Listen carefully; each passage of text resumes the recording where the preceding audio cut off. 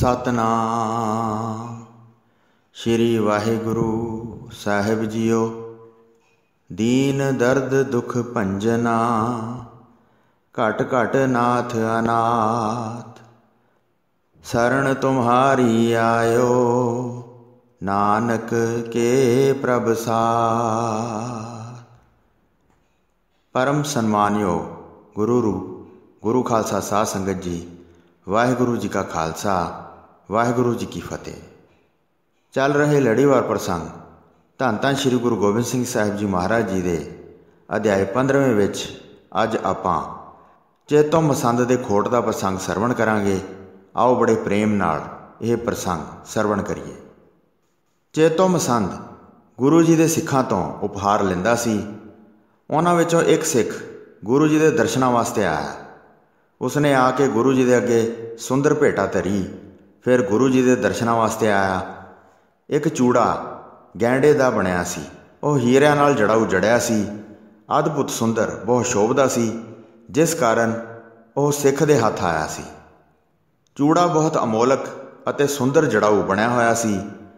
ਉਸ ਗਰੀਬ ਸਿੱਖ ਨੇ ਉਸ ਨੂੰ ਲੁਕਾ ਲਿਆ ਸੀ। ਕੋਈ ਤੁਰਕ ਬਲ ਕਰਕੇ ਨਾ ਲੈ ਲਵੇ। ਇਸ ਕਾਰਨ ਉਸਨੇ ਕਿਸੇ ਨੂੰ ਨਹੀਂ ਵਿਖਾਇਆ। ਲੁਕਾਏ ਲੁਕਾਏ ਨੂੰ ਵੇਚਣਾ ਚਾਹਿਆ। ਕਿਤੇ ਵੀ ਵਿਕਿਆ ਨਾ ਤੇ ਧਨ ਵੀ ਪ੍ਰਾਪਤ ਨਾ ਹੋਇਆ। ਲੰਮੇ ਸਮੇਂ ਦਾ ਘਰ ਵਿੱਚ ਧਰਿਆ ਸੀ। ਇੱਕ ਦਿਨ ਸਿੱਖ ਨੇ ਹਿਰਦੇ ਵਿੱਚ ਵਿਚਾਰ ਕੀਤੀ। ਇਹ ਚੂੜਾ ਗੁਰੂ ਘਰ ਦੇ ਲਾਇਕ ਹੈ, ਹੋਰ ਥਾਂ ਦੇਣਾ ਇਹ ਉਚਿਤ ਨਹੀਂ ਹੈ। ਤਦ ਮਸੰਦ ਚੇਤੋ ਉੱਥੇ ਗਿਆ ਤੇ ਗੁਰੂ ਜੀ ਦੀ ਕਾਰ ਭੇਟ ਦੀ ਉਗਰਾਹੀ ਕਰਨ ਲੱਗਾ। ਸਿੱਖ ਨੇ ਗੁਰੂ ਜੀ ਦਾ ਮਸੰਦ ਜਾਣ ਕੇ ਉਹ ਚੂੜਾ ਉਸ ਦੇ ਹੱਥ ਵਿੱਚ ਦੇ ਦਿੱਤਾ ਤੇ ਕਿਹਾ, ਇਹ ਗੁਰੂ ਜੀ ਦੇ, ਮਾਤਾ ਜੀ ਦੇ ਵਾਸਤੇ ਹੈ ਉਹਨਾਂ ਵਾਸਤੇ ਮੈਂ ਪ੍ਰੇਮ ਨਾਲ ਦਿੱਤਾ ਹੈ। ਮੇਰੀ ਵੱਲੋਂ ਚੰਗੀ ਤਰ੍ਹਾਂ ਬੰਦਨਾ ਕਰਕੇ ਗੁਰੂ ਜੀ ਦੇ ਚਰਨਾਂ ਦੇ ਨੇੜੇ ਅਰਪਣ ਕਰ ਦੇਣਾ।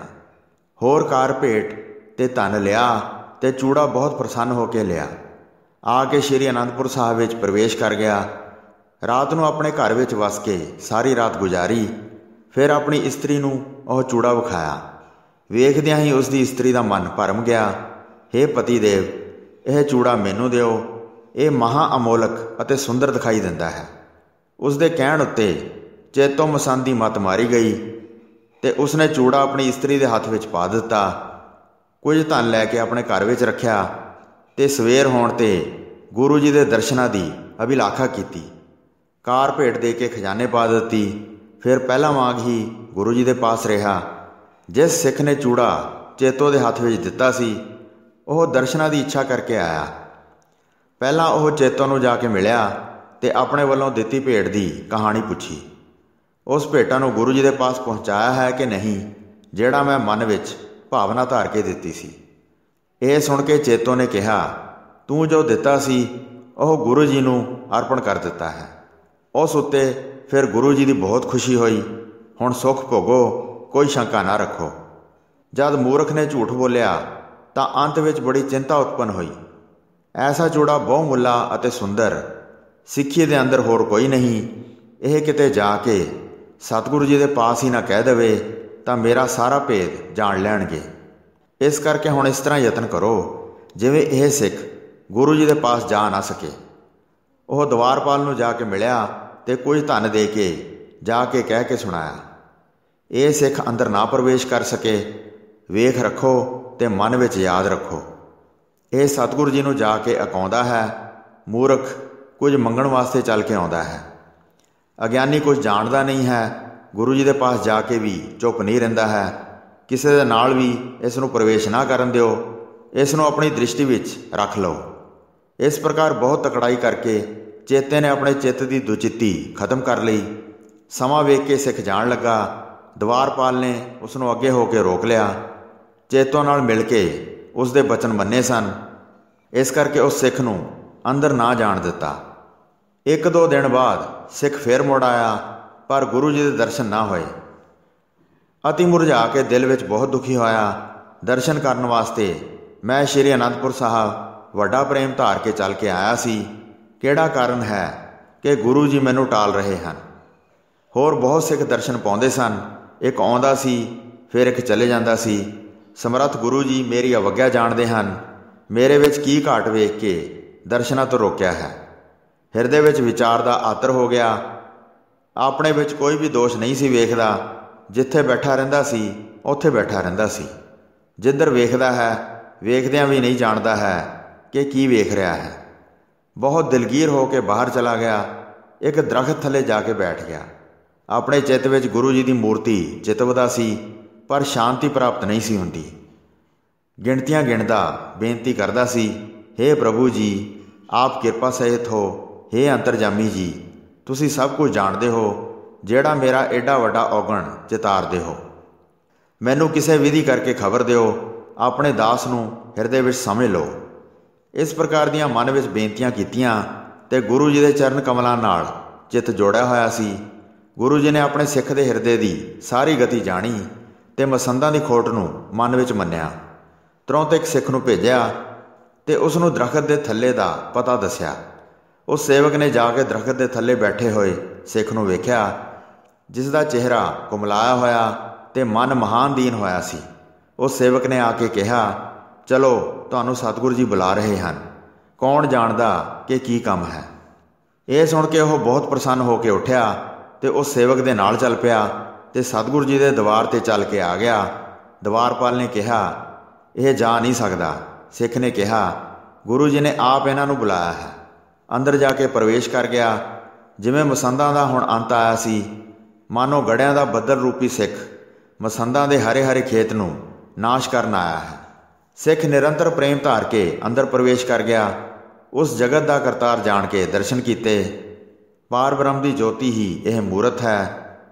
ਐਸਾ ਸਮਝ ਕੇ ਸਿੱਖ ਦੇ ਮਨ ਵਿੱਚ ਪ੍ਰੇਮ ਪ੍ਰਗਟ ਹੋਇਆ। ਤੇ ਉਸਨੇ ਚਰਨਾਂ ਤੇ ਡਿੱਗ ਕੇ ਬੰਦਨਾ ਕੀਤੀ, ਫਿਰ ਸਾਹਮਣੇ ਬੈਠ ਕੇ ਸੁਖ ਪ੍ਰਾਪਤ ਕੀਤਾ। ਕਿਰਪਾ ਧਾਰ ਕੇ ਗੁਰੂ ਜੀ ਨੇ ਬੜੇ ਮਿੱਠੇ ਬਚਨ ਕਹੇ हे ਪਿਆਰੇ ਸਿੱਖ, ਸਾਡੇ ਵਾਸਤੇ ਕੀ ਲੈ ਕੇ ਆਇਆ ਹੈ? ਇਹ ਸੁਣ ਕੇ ਸਿੱਖ ਨੇ ਹੱਥ ਜੋੜ ਕੇ ਕਿਹਾ, ਇੱਕ ਅਦਭੁਤ ਚੂੜਾ ਮੈਂ ਕਿਸੇ ਸਥਾਨ ਤੋਂ ਲਿਆ ਸੀ। ਉਹ ਆਪ ਜੀ ਦੇ ਘਰ ਦੇ ਲਾਇਕ ਜਾਣ ਕੇ ਮੈਂ ਹਿਰਦੇ ਵਿੱਚ ਪ੍ਰੇਮ ਧਾਰ ਕੇ ਪਹਿਲਾਂ ਭੇਜਿਆ ਹੈ। ਗੁਰੂ ਜੀ ਦੀ ਕੁਦਰਤ ਕਰਕੇ ਉਹ ਮੇਰੇ ਹੱਥ ਆਇਆ ਸੀ। ਉਹ ਸੁੰਦਰ ਜੜਾਊ ਜੜਿਆ ਹੋਇਆ, ਬਹੁਤ ਚਮਕਦਾ ਸੀ। ਜਬਰ ਜਵਾਹਰ ਉਸ ਉੱਤੇ ਜੜੇ ਹੋਏ ਸਨ। ਕਿਸੇ ਕਾਰੀਗਰ ਨੇ ਬਹੁਤ ਸ਼ੋਭਾ ਵਾਲਾ ਬਣਾਇਆ ਸੀ। ਹੁਣ ਮੇਰਾ ਮਨ ਦਰਸ਼ਨਾਂ ਵਾਸਤੇ ਲਲਚਾਇਆ ਸੀ। ਰਿਹਾ ਨਹੀਂ ਗਿਆ ਤੇ ਆਪ ਚੱਲ ਕੇ ਆਇਆ ਹਾਂ। ਗੁਰੂ ਜੀ ਨੇ ਕਿਹਾ, ਅਸੀਂ ਨਹੀਂ ਵੇਖਿਆ ਹੈ। ਜਿਹੜਾ ਤੂੰ ਇਹ ਗਹਿਣਾ ਭੇਜਿਆ ਹੈ, ਕਿਸ ਨੂੰ ਦਿੱਤਾ ਸੀ? ਇਹ ਦੱਸੋ, ਉਸ ਵਿਅਕਤੀ ਦਾ ਨਾਮ ਲੁਕਾਉਣ ਦੀ ਸੋਚ ਨਾ ਕਰਨੀ। ਸਿੱਖ ਨੇ ਕਿਹਾ, ਮਹਾਰਾਜ ਜੀ ਉਹ ਵੱਡਾ ਮਸੰਦ ਹੈ, ਜਿਹੜਾ ਗੁਰੂ ਜੀ ਦੀ ਸਾਰੀ ਕਾਰ ਭੇਟ ਲੈਂਦਾ ਹੈ। ਚੇਤੋ ਉਸ ਦਾ ਨਾਮ ਹੈ, ਸਰੀਰ ਉਸ ਦਾ ਬਹੁਤ ਮੋਟਾ ਹੈ, ਮੈਂ ਸੰਭਾਲ ਕੇ ਉਸ ਦੇ ਪਾਸ ਦਿੱਤਾ ਹੈ। ਉਹ ਸੰਗਤ ਪਾਸੋਂ ਬਹੁਤ ਉਪਹਾਰ ਲੈਂਦਾ ਹੈ, ਇਕੱਠੇ ਕਰਕੇ ਲੈ ਕੇ ਤੁਹਾਡੇ ਵੱਲ ਆਉਂਦਾ ਹੈ। ਸਭ ਕੁਝ ਜਾਣਨਹਾਰ ਗੁਰੂ ਜੀ ਨੇ ਇਸ ਤਰ੍ਹਾਂ ਪੁੱਛਿਆ ਕਿ ਮਾਨੋ ਕੁਝ ਨਹੀਂ ਜਾਣਦੇ, ਫਿਰ ਉਹਨਾਂ ਨੇ ਇੱਕ ਸਿੱਖ ਨੂੰ ਭੇਜਿਆ ਕਿ ਚੇਤੋ ਨੂੰ ਇੱਧਰ ਬੁਲਾ ਕੇ ਲਿਆਓ। ਚੇਤੋ ਆਪਣੇ ਘਰ ਵਿੱਚ ਬੈਠਾ ਸੀ ਸਿੱਖ ਨੇ ਜਾ ਕੇ ਕਿਹਾ, ਸਤਿਗੁਰੂ ਜੀ ਨੇ ਬੁਲਾਇਆ ਹੈ। ਇਹ ਸੁਣ ਕੇ ਚੇਤੋ ਤੁਰੰਤ ਉੱਠਿਆ। ਉਸ ਸਿੱਖ ਦੇ ਨਾਲ ਗੁਰੂ ਜੀ ਪਾਸ ਜਾਣ ਵਾਸਤੇ ਚੱਲ ਪਿਆ। ਜਾ ਕੇ ਗੁਰੂ ਜੀ ਦੇ ਅੱਗੇ ਖੜਾ ਹੋ ਗਿਆ। ਗੁਰੂ ਜੀ ਦੀ ਆਗਿਆ ਸਮਝ ਕੇ ਸਿੱਖ ਨੇ ਕਿਹਾ हे ਭਾਈ ਜੀ, ਸੁਣੋ, ਮੈਂ ਤੁਹਾਨੂੰ ਚੂੜਾ ਦਿੱਤਾ ਸੀ। ਗੁਰੂ ਘਰ ਵਿੱਚ ਪਹੁੰਚਾਉਣ ਵਾਸਤੇ ਤੁਹਾਨੂੰ ਸਮਝਾਇਆ ਸੀ। ਤੁਸੀਂ ਗੁਰੂ ਕਾਰ ਦੇ ਨਾਲ ਲਿਆਂਦਾ ਹੈ। ਉਸ ਨੂੰ ਗੁਰੂ ਜੀ ਦੇ ਪਾਸ ਅਰਪਣ ਕੀਤਾ ਹੈ ਕਿ ਨਹੀਂ? ਸਤਿਗੁਰੂ ਜੀ ਨੇ ਉਸ ਨੂੰ ਕਿਵੇਂ ਨਹੀਂ ਵੇਖਿਆ ਹੈ? ਸੋ ਤੁਸੀਂ ਆ ਕੇ ਕਹੋ, ਕਿਸ ਨੂੰ ਦਿੱਤਾ ਹੈ? ਜੇ ਕਿਸੇ ਕਾਰਨ ਤਦ ਨਹੀਂ ਦਿੱਤਾ ਹੈ, ਤਾਂ ਉਸ ਨੂੰ ਹੁਣ ਲਿਆ ਕੇ ਅਰਪਣ ਕਰ ਦਿਓ। ਗੁਰੂ ਜੀ ਦੀ ਮਾਇਆ ਨਾਲ ਚੇਤੋ ਭਰਮ ਗਿਆ ਤੇ ਲੋਭ ਲਹਿਰ ਵਿੱਚ ਗੋਤਾ ਖਾ ਗਿਆ। ਜਿਸ ਮਾਇਆ ਨੇ ਵੱਡੇ ਵੱਡੇ ਪਰਮਾ ਦਿੱਤੇ ਸਨ, ਉਸ ਮਾਇਆ ਅੱਗੇ ਚੇਤੋ ਵਿਚਾਰਾ ਕੀ ਠਹਿਰ ਸਕਦਾ ਸੀ? ਮੁਕਰ ਕੇ ਮੁਖ ਤੋਂ ਝੂਠ ਬੋਲਣ ਲੱਗਾ। ਮੂਰਖ, ਗੁਰੂ ਜੀ ਦਾ ਡਰ ਵੀ ਨਹੀਂ ਸੀ ਮੰਨਦਾ। ਕਹਿਣ ਲੱਗਾ हे ਸਿੱਖਾ ਤੂੰ ਭੋਲਾ ਤੇ ਮਤ ਦਾ ਹੌਲਾ ਹੈ, ਭੁੱਲ ਗਿਆ ਹੈ, ਕਿਸੇ ਹੋਰ ਨੂੰ ਦਿੱਤਾ ਹੋਵੇਗਾ। ਯਾਦ ਕਰੋ, ਕਿਸ ਦੇ ਹੱਥ ਵਿੱਚ ਦਿੱਤਾ ਸੀ, ਜਿਸ ਦੇ ਨਾਲ ਤੇਰਾ ਵੱਡਾ ਮੇਲ ਮਿਲਾਪ ਹੈ। ਇਹ ਸੁਣ ਕੇ ਕਲਗੀਧਰ ਪਾਤਸ਼ਾਹ ਨੇ ਮਿੱਠੇ ਬਚਨ ਉਚਾਰਨ ਕੀਤੇ हे ਚੇਤੋ, ਸਤਿਗੁਰੂ ਦੇ ਪਿਆਰੇ ਸਿੱਖ ਨੇ ਜੋ ਪ੍ਰੇਮ ਭਾਵਨਾ ਕੀਤੀ ਹੈ, ਉਹ ਮੈਨੂੰ ਦਿਓ, ਸਿੱਖ ਦੀ ਭਾਵਨਾ ਪੂਰੀ ਕਰੀਏ। ਇੱਕ ਦੋ ਦਿਨ ਵਿੱਚ ਫਿਰ ਲੈ ਲਓ, ਤੁਹਾਡੇ ਪਾਸੋਂ ਵੇਖ ਕੇ ਅਸੀਂ ਪਾਸ ਨਹੀਂ ਰੱਖਾਂਗੇ। ਨਿਡਰ ਹੋ ਕੇ ਚੇਤੋ ਨੇ ਗੁੱਸੇ ਵਿੱਚ ਆ ਕੇ ਉਚਾਰਨ ਕੀਤਾ। ਇਹ ਤਾਂ ਪਤਿਤ ਗੁਰੂ ਦਾ ਮਾਰਿਆ ਹੋਇਆ ਹੈ।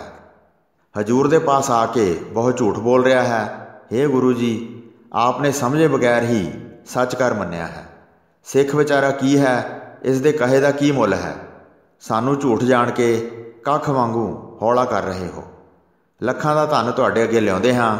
ਸਾਡੀ ਸਾਰੇ ਦੇਸ਼ਾਂ ਵਿੱਚ ਵੱਡੀ ਇੱਜ਼ਤ ਹੈ। ਜਿਹੜਾ ਧਨ ਨਹੀਂ ਦਿੰਦਾ ਹੈ ਉਹ ਵੀ ਵੇਖ ਕੇ ਦਿੰਦਾ ਹੈ, ਅੱਗੇ ਧਰ ਕੇ ਸ਼ਰਧਾ ਨਾਲ ਗੁਰੂ ਸੇਵਾ ਕਰਦੇ ਹਨ।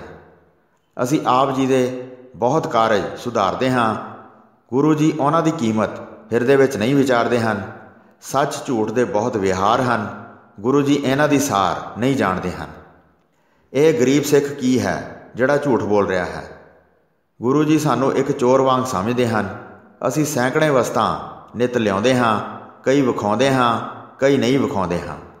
ਗੁਰੂ ਜੀ ਦੇ ਖਜ਼ਾਨੇ ਵਿੱਚ ਅਰਪਣ ਕਰਦੇ ਹਾਂ। ਸਭ ਗੁਰੂ ਜੀ ਪਾਸ ਪਹੁੰਚਾਉਣ ਦੀ ਇਸ ਤਰ੍ਹਾਂ ਰੀਤ ਧਾਰਨ ਕਰਦੇ ਹਾਂ। ਇਹ ਸੁਣ ਕੇ ਗੁਰੂ ਜੀ ਨੇ ਗੁੱਸੇ ਨਾਲ ਕਿਹਾ हे ਚੇਤੋ, ਤੇਰੀ ਲੋਭ ਲਹਿਰ ਨੇ ਮਤ ਮਾਰ ਦਿੱਤੀ ਹੈ। ਝੂਠ ਸੱਚ ਜਿਹੜੇ ਬਹੁਤ ਵਿਹਾਰ ਹਨ, ਸਾਡੀ ਬੁੱਧੀ ਵਿੱਚ ਉਸ ਝੂਠ ਸੱਚ ਦੀ ਪਰਖ ਕਰਨ ਦੀ ਸ਼ਕਤੀ ਹੈ ਕਿ ਨਹੀਂ? ਉਹ ਸ਼ਕਤੀ ਹੁਣ ਸਾਰੀ ਤੈਨੂੰ ਵਿਖਾਉਂਦੇ ਹਾਂ। ਹਥਲੀ ਕੀਮਤ ਦਾ ਫਲ ਪਹੁੰਚਾਉਂਦਾ ਹਾਂ। ਜਿਵੇਂ ਤੇਰੀ ਭਾਵਨਾ ਹੈ, ਤਿਵੇਂ ਫਲ ਪਾਵੇਂਗਾ। ਹੁਣੇ ਅਸੀਂ ਫਲ ਦੇ ਦਿੰਦੇ ਹਾਂ, ਦੇਰ ਨਹੀਂ ਲਾਵਾਂਗੇ। ਗੁਰੂ ਜੀ ਨੇ ਪੰਜਾਂ ਸਿੱਖਾਂ ਨੂੰ ਬੁਲਾਇਆ ਤੇ ਵੱਡੇ ਮਸੰਦ ਦੇ ਘਰ ਭੇਜੇ। ਇਸ ਦੇ ਘਰ ਉੱਤੇ ਇੱਕ ਚੁਬਾਰਾ ਹੈ, ਉਸ ਵਿੱਚ ਤਾਕੀ ਨੂੰ ਦਰਵਾਜ਼ਾ ਲੱਗਾ ਹੈ, ਕੱਪੜੇ ਵਿੱਚ ਲਪੇਟ ਕੇ ਉੱਥੇ ਚੂੜਾ ਰੱਖਿਆ ਹੈ, ਜਿਹੜਾ ਇਸ ਸਿੱਖ ਨੇ ਇਸ ਨੂੰ ਸੁੰਦਰ ਚੂੜਾ ਦਿੱਤਾ ਸੀ। ਹੁਕਮ ਸੁਣ ਕੇ ਪੰਜੇ ਸਿੱਖ ਭੱਜੇ ਗਏ, ਤਦ ਚੇਤੋ ਨੇ ਆਪਣਾ ਸਿਰ ਨਿਵਾ ਲਿਆ। ਧਰਤੀ ਵੱਲ ਵੇਖਦਾ ਸੀ ਨੈਣ ਉੱਚੇ ਨਹੀਂ ਸੀ ਕਰਦਾ, ਜਿਸ ਦਾ ਹੁਣ ਅੰਤ ਸਮਾਂ ਪਹੁੰਚ ਗਿਆ ਸੀ। ਪੰਜੇ ਸਿੱਖ ਘਰ ਵਿੱਚ ਪ੍ਰਵੇਸ਼ ਕਰਕੇ ਚੁਬਾਰੇ ਤੇ ਚੜ ਗਏ।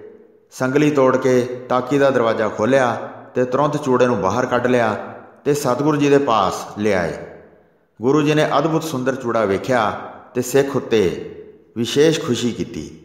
ਸਿੱਖ ਨਿਹਾਲ ਹੋ ਗਿਆ, ਸਭ ਦੁੱਖ ਦੂਰ ਹੋ ਗਏ। ਅੰਤ ਸਮੇਂ ਜਮਾ ਨਾਲ ਭੇਟ ਨਹੀਂ ਹੋਵੇਗੀ। ਫਿਰ ਚੇਤੋ ਨੂੰ ਪੁੱਛਿਆ ਹੇ ਪਾਪੀ ਚੋਰ, ਇਹ ਕੀ ਕੀਤਾ ਹੈ? ਮੇਰੇ ਪ੍ਰਤਾਪ ਨੂੰ ਨਹੀਂ ਪਛਾਣਿਆ। ਚੂੜੇ ਵਾਸਤੇ ਲੋਭ ਧਾਰਨ ਕੀਤਾ ਹੈ। ਮੂਰਖਾ, ਤੂੰ ਹਮੇਸ਼ਾ ਚੋਰੀ ਕਰਦਾ ਸੀ। ਸਾਰੇ ਗੁਰੂ ਸਾਹਿਬਾਨ ਤੈਨੂੰ ਖਿਮਾ ਕਰਦੇ ਰਹੇ ਹਨ। ਹੁਣ ਇਸ ਸਿੱਖ ਨੂੰ ਝੂਠਾ ਕਹਿੰਦਾ ਹੈ। ਬਾਲ ਬੁੱਧੀ ਵਾਲਾ ਮੈਨੂੰ ਹਿਰਦੇ ਵਿੱਚ ਪਛਾਣਦਾ ਹੈ। ਮੇਰੀ ਹਜ਼ੂਰੀ ਵਿੱਚ ਸਿੱਖਾਂ ਨੂੰ ਡਾਂਟਦਾ ਹੈ। ਝੂਠਾ ਆਪ ਹੈ ਤੇ ਇਸ ਸਿੱਖ ਨੂੰ ਝੂਠਾ ਕਹਿੰਦਾ ਹੈ। ਪਤਿਤ ਆਪ ਹੈ ਤੇ ਇਸ ਸਿੱਖ ਨੂੰ ਪਤਿਤ ਕਹਿੰਦਾ ਹੈ। ਤੇਰੀ ਆਪਣੀ ਮਤ ਮਾਰੀ ਗਈ ਹੈ ਤੇ ਇਸ ਸਿੱਖ ਨੂੰ ਕਹਿੰਦਾ ਹੈ ਕਿ ਇਸ ਦੀ ਮਤ ਮਾਰੀ ਗਈ ਹੈ। ਹੰਕਾਰ ਵਿੱਚ ਭਰ ਕੇ ਗੁਰੂ ਦਾ ਧਨ ਚੁਰਾਇਆ ਹੈ। ਮੇਰੀ ਸੰਗਤ ਨੂੰ ਬਹੁਤ ਦੁੱਖ ਦਿੰਦਾ ਸੀ। ਹੁਣ ਮੈਂ ਆਪਣੀ ਬਾਲ ਬੁੱਧੀ ਨੂੰ ਵਿਸ਼ਾਲ ਬੁੱਧੀ ਕਰਕੇ ਵਿਖਾਵਾਂਗਾ। ਗੁਰੂ ਜੀ ਨੇ ਹੁਕਮ ਕੀਤਾ, ਕੜਾਹਾ ਲਿਆਓ, ਗੁੜ ਤੇ ਜਲ ਪਾ ਕੇ ਫਿਰ ਤਪਾਓ। ਉਸ ਨਾਲ ਚੇਤੋਂ ਨੂੰ ਇਸ਼ਨਾਨ ਕਰਾਓ। ਇਹ ਪਤਿਤ ਹੋ ਗਿਆ ਹੈ। ਇਸ ਨੂੰ ਪਵਿੱਤਰ ਬਣਾਓ। ਬਾਲ ਬੁੱਧੀ ਵਾਲਾ ਸੁਭਾਅ ਸਮਝੋ, ਜਿਵੇਂ ਕੀਤਾ ਹੈ, ਤਿਵੇਂ ਫਲ ਪਾਵੇ। ਸਿੱਖਾਂ ਨੇ ਫੜ ਕੇ ਬਾਹਰ ਕੱਢਿਆ, ਗੁੜ ਗਰਮ ਕਰਕੇ ਬਹੁਤ ਉੱਤੇ ਪਾਇਆ। ਕੜਛੇ ਭਰ ਭਰ ਉੱਪਰ ਪਾਉਂਦੇ ਸਨ, ਬਹੁਤ ਪਾਪਾਂ ਦੀ ਮੈਲ ਮਟਾਉਂਦੇ ਸਨ। ਕੁਝ ਸਮੇਂ ਵਿੱਚ ਉਸ ਦੇ ਪ੍ਰਾਣ ਨਿਕਲ ਗਏ। ਸਾਰਿਆਂ ਨੇ ਵੇਖ ਕੇ ਹਿਰਦੇ ਵਿੱਚ ਡਰ ਮੰਨਿਆ। ਖੋਟ ਕਰਨ ਤੋਂ ਸਾਰੇ ਡਰ ਗਏ। ਸਾਰੇ ਗੁਰੂ ਜੀ ਦੇ ਕਰੋਧ ਧਾਰਨ ਤੋਂ ਸਹਿਮ ਗਏ। ਸਾਰੇ ਮਸੰਦ ਮਨ ਵਿੱਚ ਸੋਚਦੇ ਜਿਨ੍ਹਾਂ ਨੇ ਵੱਡੇ ਮਸੰਦ ਨੂੰ ਮਾਰ ਦਿੱਤਾ ਹੈ। ਚੰਡੀ ਦੇ ਦਰਸ਼ਨ ਉਲਟੇ ਪੈ ਗਏ ਹਨ। ਗੁੱਸਾ ਧਾਰ ਕੇ ਮਨੁੱਖਾਂ ਨੂੰ ਮਾਰਨ ਲੱਗ ਗਏ ਹਨ। ਮਿੱਠੇ ਬਚਨ ਕਿਸੇ ਨੂੰ ਵੀ ਨਹੀਂ ਕਹਿੰਦੇ ਹਨ। ਬਦਲੇ ਹੋਏ ਤੌਰ ਨਾਲ ਸਾਰਿਆਂ ਨਾਲ ਰਹਿੰਦੇ ਹਨ। ਚਿਹਰੇ ਦਾ ਰੰਗ ਬਹੁਤ ਲਾਲ ਹੋ ਗਿਆ ਸੀ। ਘੋਰ ਨੈਣਾ ਨਾਲ ਸਭ ਨੂੰ ਵੇਖਦੇ ਸਨ। ਕੋਈ ਵੀ ਉਹਨਾਂ ਨੂੰ ਪਰਤ ਕੇ ਉੱਤਰ ਨਹੀਂ ਸੀ ਦੇ ਸਕਦਾ। ਆਪ ਹੀ ਆਪਣੇ ਚਿੱਤ ਵਿੱਚ ਡਰ ਜਾਂਦੇ ਸਨ। ਫਿਰ ਗੁਰੂ ਜੀ ਸੰਗਤ ਨੂੰ ਸੋਧਣਾ ਚਾਹੁੰਦੇ ਸਨ ਸਿੱਖੀ ਪਰਖਣ ਵਾਸਤੇ ਬੜੇ ਉਤਾਵਲੇ ਸਨ। ਖੋਜ ਕਰਕੇ ਮੈਂ ਪੰਥ ਚਲਾਵਾਂਗਾ ਤੇ ਅਜੀਬ ਖਾਲਸਾ ਪ੍ਰਗਟ ਕਰਾਂਗਾ। ਹਿਰਦੇ ਵਿੱਚ ਐਸਾ ਮਨੋਰਥ ਧਾਰ ਕੇ ਸਤਿਗੁਰੂ ਜੀ ਤੈਸੀ ਵਿਧੀ ਬਾਰੇ ਵਿਚਾਰ ਕਰਦੇ ਸਨ। ਦੂਰ ਦੂਰ ਤੋਂ ਸੰਗਤ ਆਈ, ਜਿਸ ਵਿੱਚ ਬਹੁਤ ਪ੍ਰੇਮੀ ਸਿੱਖ ਸਨ। ਚਾਰਿਆਂ ਪਾਸਿਆਂ ਤੋਂ ਗੁਰੂ ਜੀ ਨੇ ਸਿੱਖ ਬੁਲਾਏ, ਸਾਰੇ ਪਾਸੇ ਹੁਕਮਨਾਮੇ ਭੇਜ ਦਿੱਤੇ, ਹੱਥਾਂ ਵਿੱਚ ਸ਼ਸਤਰ ਧਾਰ ਕੇ ਤੇ ਆਪਣੇ ਘਰ ਛੱਡ ਕੇ ਸ਼੍ਰੀ ਅਨੰਦਪੁਰ ਸਾਹਿਬ ਦੇ ਰਾਹ ਚੱਲ ਪਏ। ਆਪਣੀ ਸਮਰੱਥਾ ਅਨੁਸਾਰ ਉਹਨਾਂ ਨੇ ਉਪਹਾਰ ਲੈ ਲਏ। ਹੁਕਮ ਸੁਣ ਸੁਣ ਕੇ ਗੁਰੂ ਜੀ ਵੱਲ ਚੱਲ ਪਏ। ਸ਼੍ਰੀ ਅਨੰਦਪੁਰ ਸਾਹਿਬ ਆ ਕੇ ਵੱਡਾ ਮੇਲਾ ਲੱਗ ਗਿਆ ਤੇ ਸ਼੍ਰੀ ਕਲਗੀਧਰ ਪਾਸ਼ਾ ਜੀ ਦੇ ਦਰਸ਼ਨ ਕੀਤੇ। ਸੋ ਸਾਧ ਸੰਗਤ ਜੀ, ਇੱਥੇ ਤੀਸਰੀ ਰਾਸ ਦਾ 16ਵਾਂ ਅਧਿਆਇ ਸਮਾਪਤ ਹੁੰਦਾ ਹੈ ਜੀ। ਪ੍ਰਸੰਗ ਸੁਣਾਉਂਦੇ ਹੋਏ ਹੋਈਆਂ ਅਨੇਕ ਭੁੱਲਾਂ ਚੁੱਕਾਂ ਦੀ ਖੇਮਾ ਬਖਸ਼ਣੀ ਜੀ, ਦਾਸ ਨੂੰ ਆਗਿਆ ਦਿਓ। ਵਾਹਿਗੁਰੂ ਜੀ ਕਾ ਖਾਲਸਾ, ਵਾਹਿਗੁਰੂ ਜੀ ਕੀ ਫਤਿਹ।